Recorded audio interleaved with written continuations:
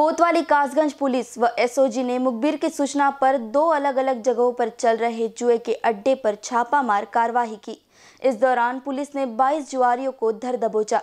Police ने मौके से पैतालीस हज़ार पचपन रुपए की नकदी सहित लकड़ी की गोल चक्री व एक फ्लैक्सी, जिस पर एक से बारह तक नंबर अंकित है।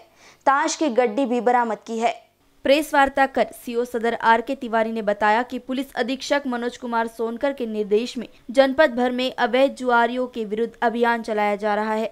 इसी के चलते मुखबिर की सूचना पर कोतवाली पुलिस व एसओजी टीम ने संयुक्त कार्रवाई कर नगर के मोहल्ला भूतेश्वर के रहने वाले प्रेमपाल के मकान पर छापा मार कार्रवाई की। वही पुलिस ने मौके पर पंद्रह जुआरियों को धर दबोचा। वही पुलिस ने मौके पर पैतीस हज़ार पचपन सहित गोल चक्री एक फ्लैक्सी जिस पर एक से बारह तक नंबर अंकित है, बरामद की। साथ ही कोतवाली पुलिस ने नगर में ही दूसरी जगह छापेमारी कर सात जुआरियों को धर दबोचा। वहाँ से पुलिस ने तीन हज़ार की नकदी सहित ताश की गड्डी बरामद की है। फ़िलहाल सभी पकड़े गए। जुआरी को जेल भेजने की कार्यवाही की है।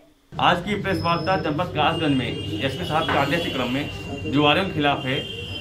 थाना कासगंज और एसओजी प्रभारी के नेतृत्व में हमने अभियान चलाकर दो जगहों से 22 लोगों को गिरफ़्तार किया है। इन 22 लोगों से हमें अड़तीस हज़ार पचपन रुपये बरामद हुए हैं और इनसे एक गोल चक्कर चक्री बरामद हुआ है जिनका ये सत्ते के अंतर्गत प्रयोग करते थे। इसके अलावा बावन टास के पत्ते बरामद हुए हैं। इनसे और भी उपकरण, इनसे और भी जानकारी मिल सकती है। जाँच की जा रही है और विधिक धाराओं में जो भी इनसे संबंधित धाराएँ हैं, उनमें इनके खिलाफ विधिक कार्रवाई की जाएगी। कासगंज से फहीम की रिपोर्ट।